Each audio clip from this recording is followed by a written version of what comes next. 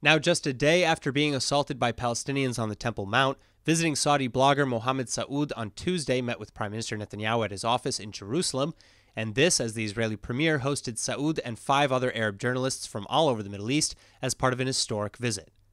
Then, as reported by the Israeli Foreign Ministry, Netanyahu took the opportunity to apologize to Saud for the earlier incident on behalf of all of Israel. And at least three Palestinian suspects were arrested for the harassment. But despite taking the Palestinian abuse somewhat harshly, Saud still stood firm in his convictions, issuing additional support for the Jewish state by even singing a song in Hebrew by poet Leah Goldberg. Then later, the six journalists met with Foreign Minister Katz while scrapping a planned meeting with the Israeli press but not before Netanyahu reported that the Arab delegation spoke of how, quote, so many in the Arab world want to have peace and normalized ties with Israel, but aren't always free to express it.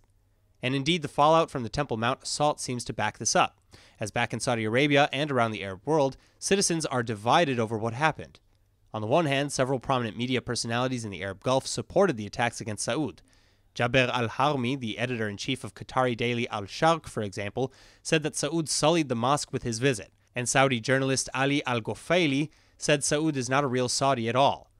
But on the other hand, many supported Saud, instead decrying the Palestinians for their treatment of Saudi nationals, for their disdain hurled at the Saudi royal family, and most importantly, for their ungratefulness towards Saudi Arabia's consistent support of the Palestinians in the past.